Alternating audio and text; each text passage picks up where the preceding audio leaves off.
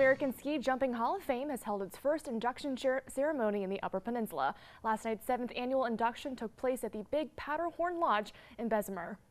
Hall of Famer and new UP resident Brian Sanders was the master of ceremonies. Around 140 people attended.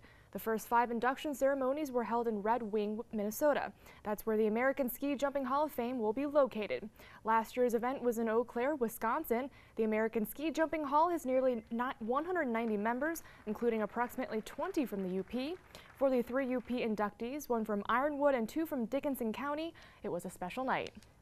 It's a rather overwhelming experience. I'm trying to figure out why they would even have considered me, but we're, we're very happy that they did. Uh, I'd like to think that maybe we've done some good things out at the peak and uh, we'll continue to do so. Uh, it's a great sport, a very safe sport nowadays, and uh, we hope it's got a bright future. A humbling experience, especially to see all of my buddies uh, from all over and Iron Mountain, where they brought up about probably 10 guys here that I haven't seen for quite a few years.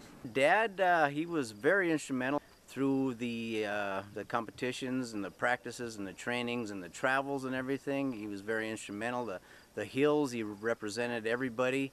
He prepared all the hills for everybody. He helped uh, whatever was needed. It's the most incredible feeling you can have in, for a ski jumper because it's a pretty good rush when you when you get up there and you know the, the wind and how that uh, cantilever will will start bouncing a little bit and you get the feel of that and you get in that track and the, the speed uh, gets you know you start getting up in speed and it's just uh, incredible when you get into the air.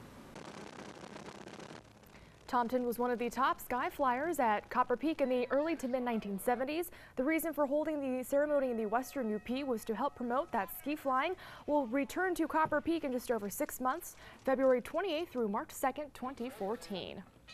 Over in the Berry Event Center at NMU, kids from ages 6 to 15 participated in the Goalies Inc. Hockey School Camp.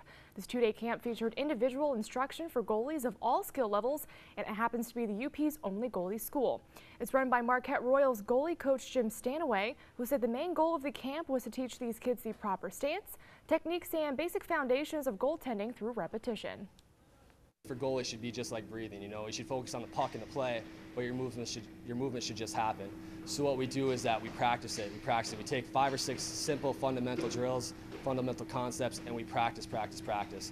And by the time these kids are done, you know, you can see a huge improvement in these uh, in these fundamental drills that we do. But the biggest thing is that it's a two days. It's real high intensity. And uh, you know, most of the time, uh, parents are telling me right after the kids leave, they're they're sleeping in the car and they're sleeping on the ride home. Which, you know, for me, I think that's a uh, that's a success for the camp. Goalies in Hockey School runs seven camps throughout the year. For more information on where and how to sign up, visit our website, uppermichigansource.com. Highlights, visit our website, uppermichigansource.com. All right, thank you very much, Lily. We'll be right back with your final story.